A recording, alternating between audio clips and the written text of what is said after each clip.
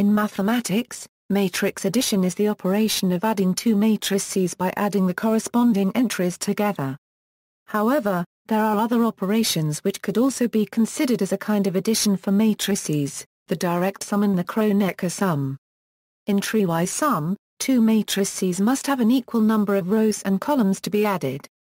The sum of two matrices A and B will be a matrix which is the same number of rows and columns as do A and B. The sum of A and B, denoted A plus B, is computed by adding corresponding elements of A and B. For example, we can also subtract one matrix from another, as long as they have the same dimensions. AB is computed by subtracting corresponding elements of A and B, and has the same dimensions as A and B. For example, direct sum, another operation, which is used less often, is the direct sum.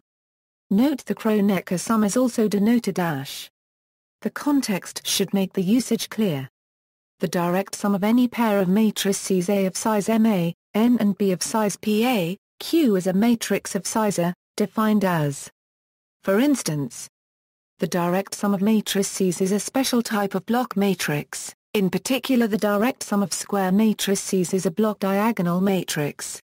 The adjacency matrix of the union of disjoint graphs or multigraphs is the direct sum of their adjacency matrices. Any element in the direct sum of two vector spaces of matrices can be represented as a direct sum of two matrices. In general, the direct sum of n matrices is where the zeros are actually blocks of zeros, that is zero matrices. Kronecker sum. The Kronecker sum is different from the direct sum but is also denoted by ash. It is defined using the Kronecker product ash, a normal matrix addition. If A is n by n, B is m by m and denotes the k by k identity matrix then the Kronecker sum is defined by. See also, matrix multiplication, vector addition. Notes References, Lipschutz, S. Lipson, M. Linear Algebra. Schaum's Outline Series.